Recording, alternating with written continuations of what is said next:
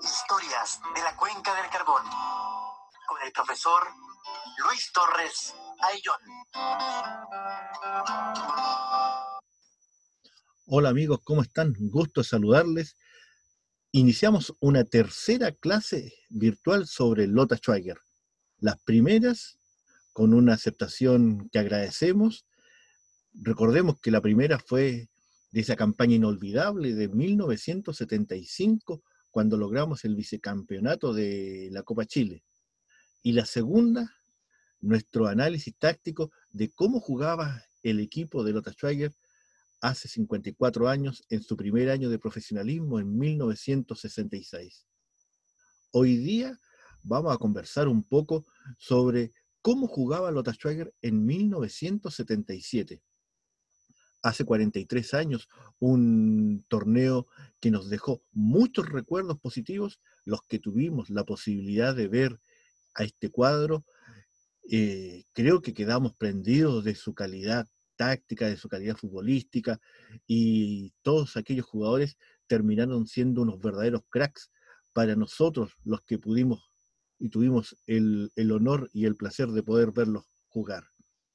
Sin embargo, vayamos inmediatamente a conversar sobre este equipo, este equipo que aquí aparece en el Estadio Nacional, eh, en un póster de la revista Estadio, donde aparecen figuras ilustres del equipo minero que ya las vamos a nombrar. Pero la primera pregunta que nos queremos hacer y que queremos responder para todos aquellos que están viendo o verán esta clase virtual, porque no necesariamente tiene que gustarle el fútbol. Este también es un tema histórico, es identidad, es cultura minera la que está eh, representada por estos 11 jugadores. ¿Y por qué vamos a elegir el año 77? ¿Por qué lo elegimos? ¿Por qué el equipo del 77?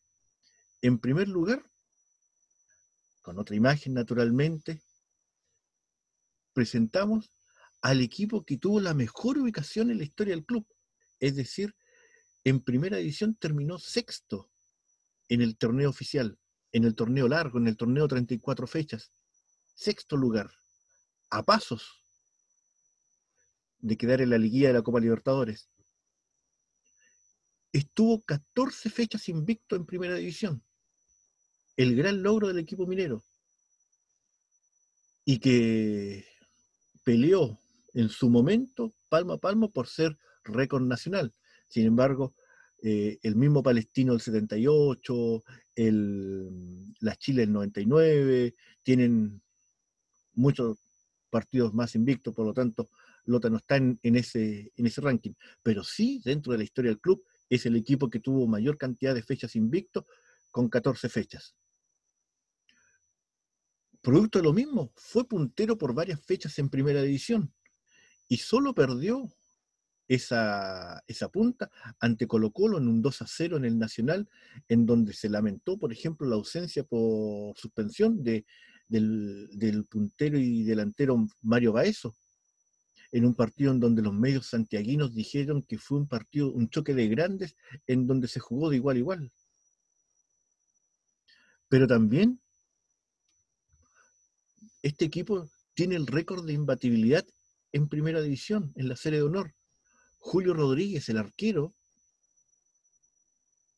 estuvo 532 minutos con su arco invicto, desde el 1 a 1 con Concepción, allá en Collao, hasta el 1 a 1 con la Unión Española, con el gol de Peredo en, en el Nacional. Y lo otro que, hace que este equipo sea extremadamente importante, que tuvo un promedio público de 5.388 personas. Promedio de público. Y Lota venía de una baja de público en el año 76, 75, 74, 73. Recién en el 72 supera los 6.000, las 6.000 personas como promedio público.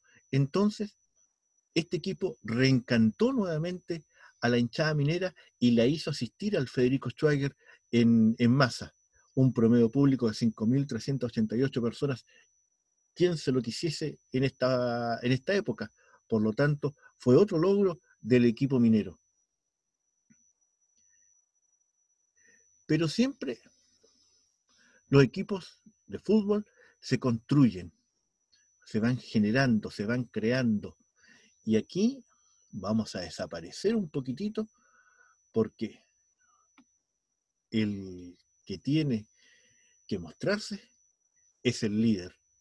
Vicente Cantatore, que recuerden llegó el año 76 en las últimas fechas, salvó en el último minuto del 76 en el 3 a 2 Antofagasta, allá en el norte, para salvarse la liguilla de descenso, y se unió con un cuerpo técnico de lujo. Estaba el profe Luis Saavedra como preparador físico, estaba el Menta Becerra en, en la utilería, y ahí hay otro tema.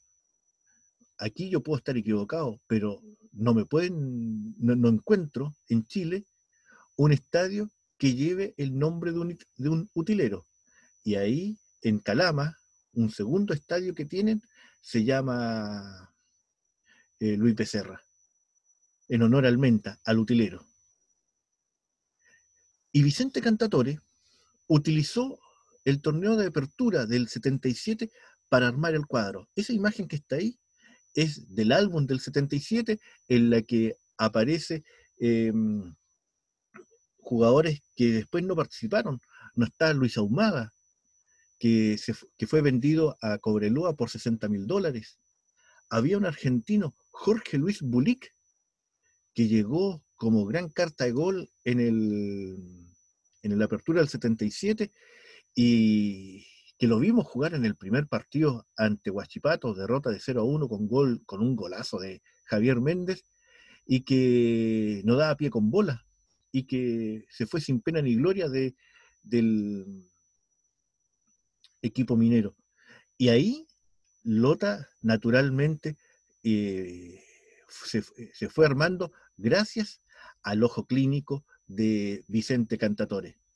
Y la primera parte del plantel aquí la tenemos, Guillermo el Chucho Cartes, arquero, que ya había iniciado sus armas desde el 74, que estaba eh, compartiendo el arco minero.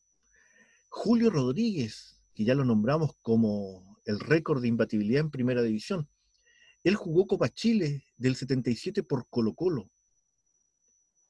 Era el tercer arquero de, de, Colo Colo y por el tema de selección de la eliminatoria para el Mundial del 78, Julio Rodríguez toma el arco de, Colo Colo y es enviado a préstamo al equipo minero. Otros reconocidos, Emiliano Azócar, Pablo Díaz, Juan Páez, el Topo Arroyo, Carlitos Durán, Juan el Mono Jara, Rubén Aguilar, que está enfermito y que esperamos se recupere pronto, Víctor Azócar, que empieza a alternar ya en el equipo minero, René Chacano, un volante de quite de los buenos, con una pegada pero mortífera, Víctor el Chueco Merelo, que aparece ya en 1970 en el equipo minero y que ese año del 77 sería su último año eh, con la casaca minera.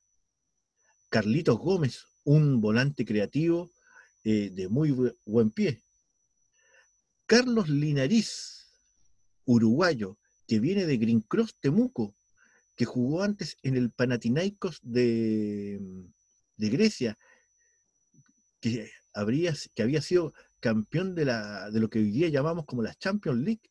Ahí jugó Carlitos Linariz. Washington Abad, otro uruguayo, que viene, llega el 76 a Lota, procedente de Ñublense Chillán. Desde Deportes Concepción llega Raúl Briones, un puntero izquierdo que tiene notables condiciones. Pasa un poco desapercibido, pero fue un tremendo aporte en el equipo minero. Manuel El Mono García, que también juega Copa Chile por Colo Colo y que para el torneo oficial vuelve a, a Lota Schwager, incluso en el álbum del 77, para que lo busquen, eh, sale con la camiseta Colo Colo. Eduardo el Hippie Jiménez, que conocido, ¿verdad?, por todos, en ese momento, puntero derecho de Lota Schwager. Y aparecen dos brasileños que van a ser las delicias del hincha minero. El primero, Mario Aparicio Baezo, que jugó Copa Libertadores por el Portuguesa de, Venezuela, que llega a Chile a probarse a Santiago Morning junto con Eduardo Teixeira Lima, que no es, que no queda en, el Chaguito, error garrafal, y que Genaro Moraga lo, trae a Lota Schwager y aquí queda en forma inmediata. El otro, un morenito, uno que decían que se parecía a Pelé, Geraldo de Campos, Geraldo de Campos, creo que es el jugador, el mejor jugador de Lota Schwager en su historia para la tribuna. Era espectáculo para la tribuna. Más que para el equipo, para la tribuna. Velocísimo, con buen dribbling, eh, gambeteador, eh, le gustaba hacer lujito. Eh, Geraldo de Campos se va el 77 eh, del, mineral a, sus vacaciones en Brasil, renovado de contrato, pero lamentablemente allá en Brasil tiene un accidente automovilístico que le cortan las piernas, le amputan las piernas y a los años, tengo entendido, me han comentado por ahí, se suicidó Geraldo de Campos. Aparece Héctor Puebla, el Ligua, que el 76 algo, algo apareció, pero el 77 empieza a aparecer con ya con mayor fuerza también en la punta izquierda. Y el cabezón Sergio Campos también estaba ahí en el plantel minero. De los 22 jugadores, 11 de la cantera minera. 11, 11 jugadores. Lo que indicaba el trabajo que se hacía en las inferiores del equipo minero un trabajo que inició por allá por el 66 Hernán Gárate, que lo continuaron muchos más y que dieron eh, tanto jugador, disculpen el término, bueno para la pelota desde el mineral. Y armamos el equipo. Este equipo está formado fundamentalmente con los jugadores que tuvieron mayor cantidad de minutos en el torneo, por si alguien echa de menos a alguno. Ya los nombramos a todos, pero aquí están los que jugaron más. Y vamos a ir viéndolos por, zona, los vamos a nombrar, vamos a seguir con el cursor. Julio Rodríguez al arco, una línea de cuatro con Emiliano Zócar como lateral derecho, centrales como Juan Páez por derecha, Pablo Díaz por la izquierda y Juan el Mono Jara por izquierda tres volantes. Carlos Linariz como volante tapón. Por derecha, Víctor Merelo. Por izquierda, Washington Abad. Y arriba, solamente jugadores rapidísimos. Puntero derecho, Eduardo El Jiménez. En, el, la centro delantera, Mario Baezo, el Flecha. Y por la punta izquierda, Raúl Briones. Lota jugaba 4-3-3, como aquí aparece, y esta mm, formación se jugaba de local y de visita, con algún acomodo que ya lo vamos a explicar, pero era 4-3-3 tanto de local y de visita. Y vayamos ahora a ver cómo se, mm, se presentaban por zona. Julio Rodríguez, arquero minero, ya dijimos que viene a préstamo desde Colo Colo. ¿Por qué Julio Rodríguez lo pusimos y no a Guillermo Cartes? Eh, por dos razones. Primero, eh, Julio Rodríguez, pese a que se fue aproximadamente las primeras fechas de la segunda rueda por problemas personales con la institución, jugó 18 partidos de los 34. Guillermo el Chucho Cartes jugó 16. Por mayor cantidad de partidos pusimos a Julio Rodríguez y además también por el hecho de tener el récord de imbatibilidad en el arco minero en primera división. Recordemos que el arquero, a diferencia de lo que pasa ahora, podía tomar la pelota con la mano, eh, si se la pasaban con el pie, con cualquier parte del cuerpo, la podía tomar sin ningún problema. Si le querían dar un pase desde la mitad de la cancha hacia atrás, podía tomarla eh, sin ningún problema porque la, normativa legal de, de, aquel tiempo de la FIFA así lo permitía. Lateral derecho, lo dijimos, Emiliano Azócar, que tenía varias funciones. Naturalmente, cuidar su banda, la banda derecha, jugador formado de la, zona, que tenía también que cubrir a los centrales, ¿ya?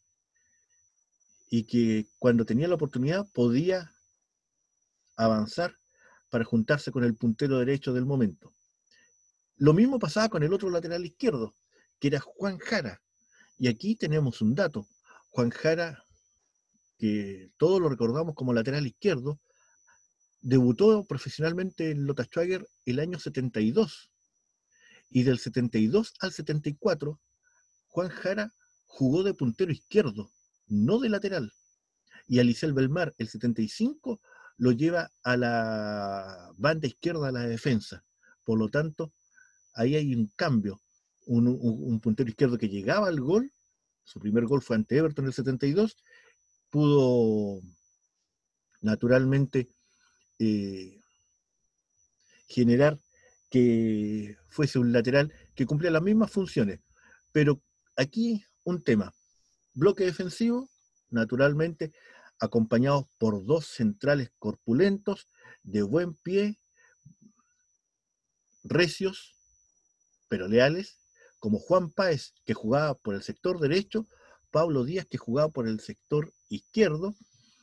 Eh, cuando había, por ejemplo, un un, ataque por el puntero izquierdo, es decir,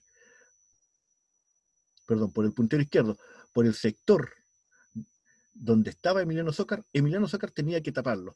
Si no lo podía tapar, Juan Páez venía a, colaborar a Emiliano Zócar y Pablo Díaz se cerraba más al centro y naturalmente lo mismo hacía Juan Jara. Si era al revés, si era el puntero derecho el que atacaba la defensa minera, Juan Jara lo trataba de detener, lo apoyaba Pablo Díaz, se cerraba Juan Páez y obviamente Emiliano Zócar hacía la misma situación. Cuando había un córner en contra, pongamos el caso que había un córner desde el sector derecho del ataque visitante, Juan Jara se iba al primer palo y los centrales tomaban al, al 9 eh, rival. Si era córner por la izquierda, naturalmente Emiliano Zócar se iba al primer palo y se repetía las marcas en el área. Esto funcionaba bastante bien. Por algo tuvimos 532 minutos sin recibir goles. Pero cuando se jugaba de local, el equipo jugaba más cercano a la mitad de la cancha, la defensa jugaba más cercano a la mitad de la cancha.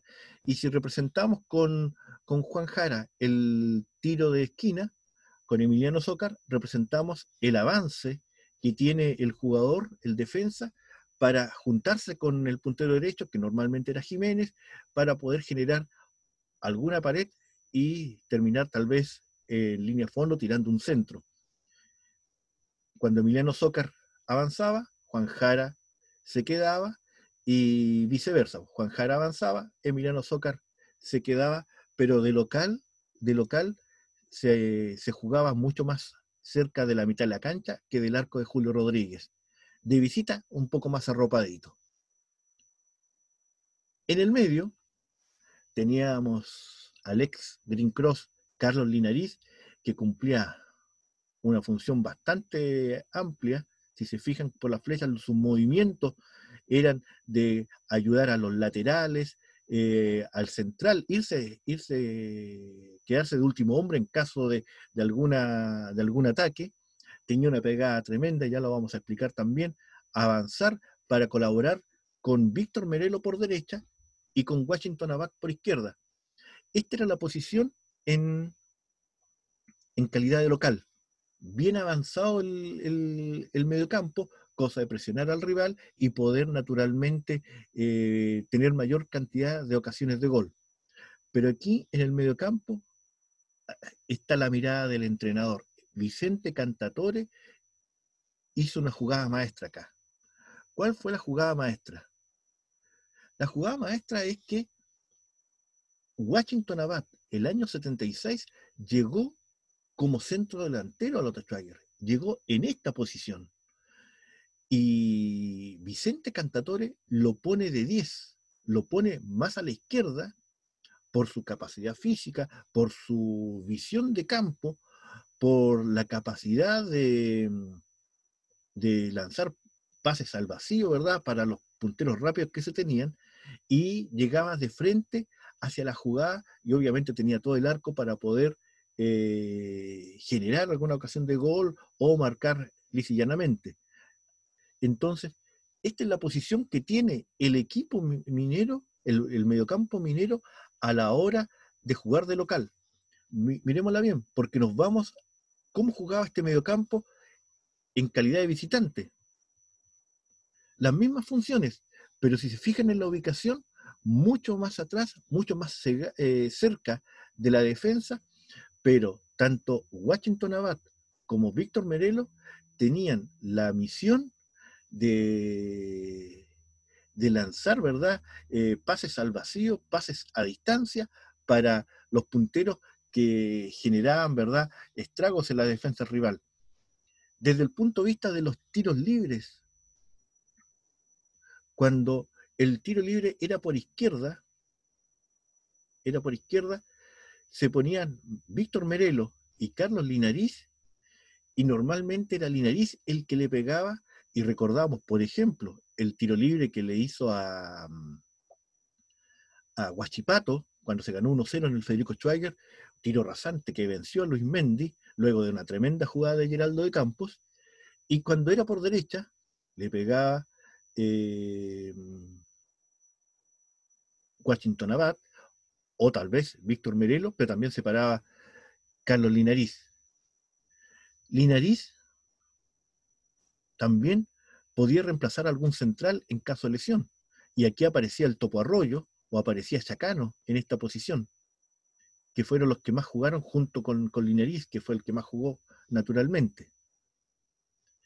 Y en el caso de, la delantera minera, teníamos de lujo, porque el puntero derecho, por esencia, era Eduardo Jiménez, un jugador talentoso, un jugador de la zona, un jugador que luego pasaría a jugar de volante contención y así llegaría al equipo minero el, 87. Mario Baezo, que también podía jugar de puntero derecho, pero jugaba preferentemente centro delantero. Y, ahí compartía el puesto, por ejemplo, con Manuel el Mono García, que en el primer partido de, de este campeonato en el 3 a 1 ante Green Cross, marca una chilena espectacular. Si alguien recuerda la chilena que hizo el Pato Morales a San Felipe en el 4-0 de la primera fecha del, 2006, que fue espectacular, la del Mono García fue más espectacular aún porque fue, el fue un movimiento pero perfecto de, del Mono en ese golazo que hizo en el arco que daba la espalda al tablero marcador. Y por izquierda estaba Raúl Briones, que fue el que más jugó, pero también estaba eh, Geraldo de Campos, estaba mm, Héctor Puebla, el Ligua. Es decir, solamente si nos fijamos en los, ¿cuántos? En los tres, cinco, en los seis delanteros que hemos nombrado, cinco eran velocísimos. Tal vez el menos veloz pero el que tenía la picardía del centro delantero era el Mono García. Pero si poníamos, por ejemplo, eh, eh, si poníamos el titular que, puse, que pusieron luego del partido con, aviación en Santiago, donde se vence 2 a 0, en donde se establece que Lota tenía dos misiles, por Mario Baezo, por eh, Briones, eh, es pero tremendo. Por eso los mediocampistas, si para algunos pudiesen parecer lentos, es que no tenían que correr más, porque tanto Abad como Merelo eh, lanzaban el balón a distancia, al vacío, y picaban de buena manera Baezo, Jiménez, Briones, Puebla, eh, Geraldo de Campos.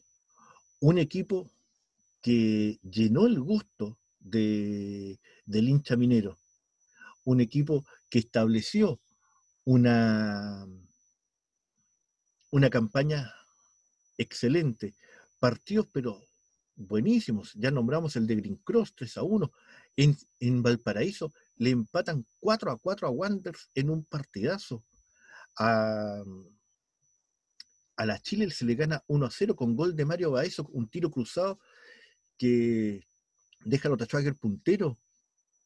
A Deportes Concepción, los primeros 30 minutos del, del primer tiempo le, le, hicieron un baile a tal extremo que ese partido termina 4 a 1. Y a los 30 minutos, si la memoria no me falla, ya se iba ganando 3-0. Y todos recordamos a Geraldo de Campos, luego de marcar su gol, eh, arriba de la malla olímpica, celebrando con la hinchada minera. Entonces, en ese contexto, este equipo dio espectáculo, dio muchas alegrías al pueblo minero y naturalmente es una de las razones por las cuales se, buscó recordar. Pero esta es la, alineación. Y, la repetimos, Julio Rodríguez en el arco, Emiliano Zócar, Juan Páez, Pablo Díaz, Juan Jara en la línea de cuatro, al medio, cortando todo, Carlos Linariz, eh, por derecha, Víctor Merelo, por izquierda, Washington Abad, un poco más adelantado, un centro delantero como Mario Baezo, puntero izquierdo Raúl Briones puntero derecho el goleador Eduardo Jiménez.